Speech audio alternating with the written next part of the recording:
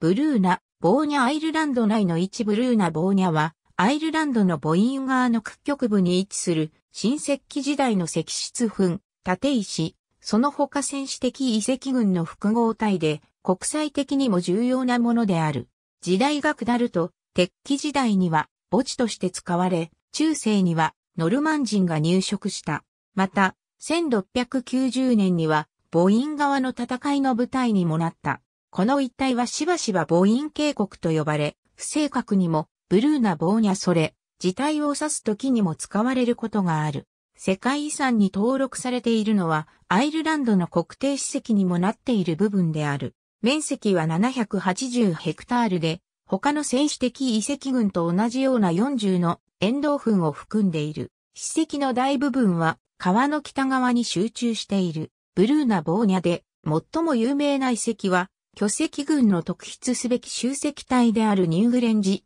のウス、ドースの核墳墓である。それらは川の屈曲部の両線に建てられており、のウスとニューグレンジは、より古い史跡で使われていた石を再利用しているようにも見える。この地でのより早い活動の痕跡は、中石器時代の狩人が残したらしい火打ち石などを除けば発見されていない。川の屈曲部では他にも多くのエンクロージャーや巨石遺跡が確認されている。情景の3つの墳墓に加えて、いくつかの祭祀場が次のような遺跡を形成している。3つの主要巨石遺跡は、天文考古学上の重要な意味も持っている。ニューグレンジとドースは、当時の太陽に対応し、ノウスは、春分の太陽に対応しているのである。隣接する遺跡群についても、他の対応関係がないか検討されている。また、渓谷のブルーなボーニャのレイアウトやデザイン自体も天文学的意味の検討がなされている。